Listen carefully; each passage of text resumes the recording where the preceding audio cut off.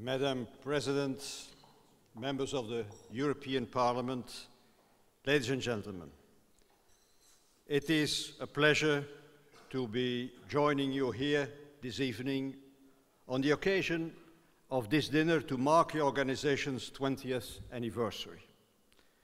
I understand that you started the celebrations some months ago with a lecture by a world and Olympic champion. I hope I can compete. Though grit and resilience is something we also know about here in Brussels. Age 20 in 2013, this makes you exactly as old as the single market.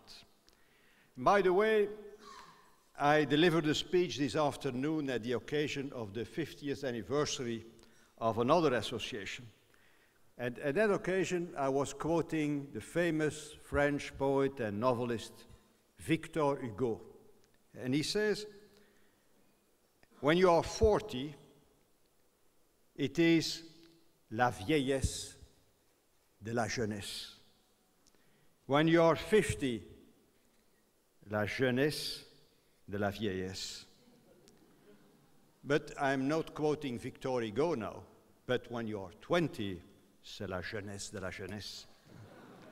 and I'm more and more in the stage of becoming, of coming to the stage of la vieillesse de la vieillesse.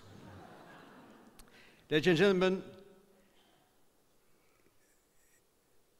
exactly 20 years after the launching of the single market is not a coincidence for your organization. I couldn't have put it any better than you just did, Madam President, for the companies of all our countries, and especially in your sector, retail and wholesale, a true European market of over half a billion people has irresistible appeal.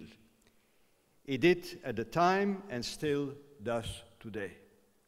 The single market came into being with Maastricht's entry into force two decades ago, almost to the day. With it came another major game changer, the journey to the euro. With the common currency, Europe entered into people's daily lives like never before. Through coins in people's pockets, banknotes in their wallets, and purse traded at shopping tills across the continent over a billion times a day. From the very beginning, business leaders like you were among the euro's most enthusiastic supporters and this strong support was an important factor in its success. A common currency is about much more than just sharing a design of your banknotes. For a country, it means that your financial, economic, and budgetary decisions can have an impact on those of other member states. Yet the full extent of this reality what it really means to share a currency, a market, and a union only started to sink in in recent years. It took unprecedented financial turmoil to hammer home our extraordinary economic interdependence and the resulting need for Eurozone countries especially to coordinate financial, economic and fiscal policies even more closely than before. Our countries have drawn and still are drawing the lessons from the economic and financial crisis. In these unsteady times, they have had to pull together like never before. And the Union as a whole is hard at work.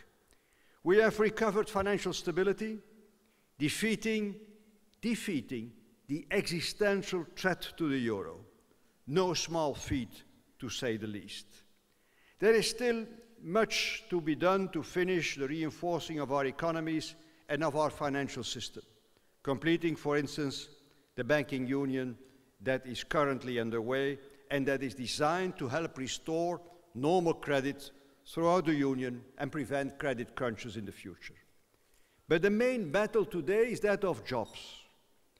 In too many countries, five years of low growth or no growth not to mention a recession, have taken a devastating toll on the employment, especially for young people.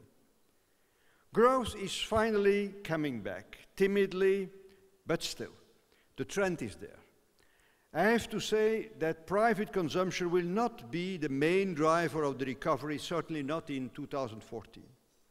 Consumer spending is expected to rebound in 2015 by 1.5% in the Union and 1.3% in the euro area, as labor market conditions start improving more visibly and the recovery gains strength. But we know that there is always a time lag between the return of growth and that of jobs.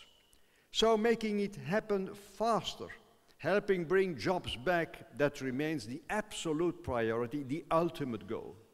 All the rest, financial stability, fiscal consolidation, structural reforms, are not aims in themselves, but means, means to bring back jobs, to restore sound and lasting economic foundations for our societies.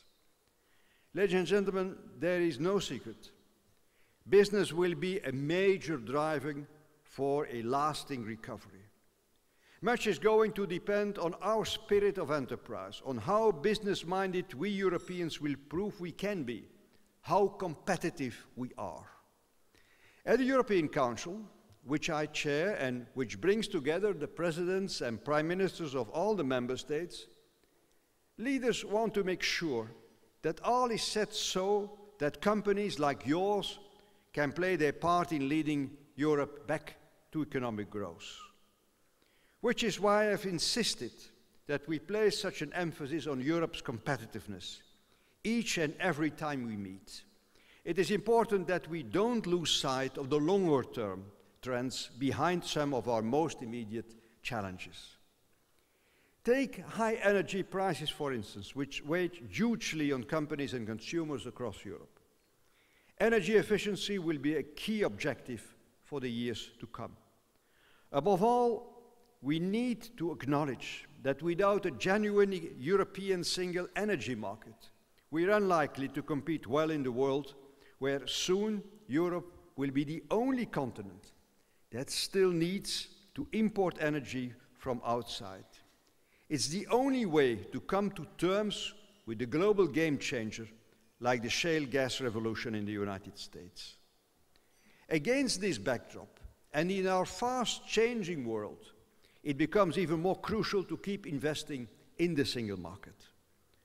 Aside from energy, there are still too many sectors which we fall short from where we ought to be, not least for services, for the digital economy, for the telecom sector, for transport infrastructure, all areas where the leap forward or the leap towards the single market would make a significant difference, including, of course, to retail and wholesale companies. To help boost the benefits for business, single market rules should, of course, be light and fit for purpose, striving for maximum simplicity and minimum hassle, especially for SMEs. That's a matter of common sense and the principle European Council leaders insist upon. The European Commission has already identified new steps to cut down paperwork and simplify EU law where needed. Single market rules, rules are living rules, and their whole purpose is precisely to reduce red tapes. Because when we get it right with the single market rules, it's 28 out and one in, a level playing field for all. But let us not forget that the biggest creators of red tape are still the national, regional, and local authorities, especially when they adopt conflicting, in incompatible rules. A similar effort has thus to be made at all levels. For a trade like yours, single rules for lorry transport, for instance, have meant epic change. One single administrative document covering all cargo rather than the 20 odd pieces of paperwork that previously had to be presented at each border. In our day and age, the same should, be, should go, of course, for, to, for online borders. In fact, it is utterly paradoxical that it isn't. Yet the unfortunate truth is that when it comes to the online economy, Europe is still a truly fragmented market. Whereas we used to lead on all things digital, we are now lagging behind. We've invested too little in infrastructure, the skills and the organizational changes that are needed to reap the benefits of these technologies. And this is something we simply cannot afford. And nowadays, expanding through online channels, conquering the digital economy is not just for the Amazon and eBays of this world, but an opportunity for all. Almost every single SME in our countries could improve its business by making better use of digital technology, of digital services, and digital selling channels. And the Christmas season is just around the corner, and more and more gifts will be bought online. That's the new reality. And yet, there are still huge differences between European member states. On average, nearly 60% of European internet users shop online, but this ranges from over 80% in the United Kingdom to under 30% in Estonia and Italy, which is surprising since we like to think of Estonia as an e country. But more worrying still are the low figures of consumers ready to buy online abroad. Only one in ten. And most of online trading is concentrated within each country. We are back to national markets all over again. Much of this has to do with trust, with providing secure online payment means and guarantees for privacy and data protection. It should be as easy and safe to buy and sell online from another European country as it is at home, which is where European measures can and should help. Exactly one month ago, we devoted an entire European Council of Heads of State and Government precisely on how to achieve a more consumer friendly digital economy, how to truly connect our continent in the digital age and I was not surprised to hear these aims are the very top of your manifesto. But it goes deeper than just infrastructure and rules and regulations. What's also about is skills. The jobs of the future will be digital, at least in part. I often repeat this figure, but it's always as astonishing as astonishing. By 2015, we're looking at finding ourselves with 900,000, 900,000 unfilled IT vacancies. At a time when jobs are scarce, it's not hard to do the math. We seriously need to invest in digital skills. I will have to be, this will have to be a collective endeavor. Yes, it is going to happen in universities, in schools, and in homes. But to an equal extent, it's also going to happen in workplaces, in offices, in shops, in warehouses. And this is where tonight lies my call to you. Because investing in skills, in a wider sense, not just digital, means above all investing in people.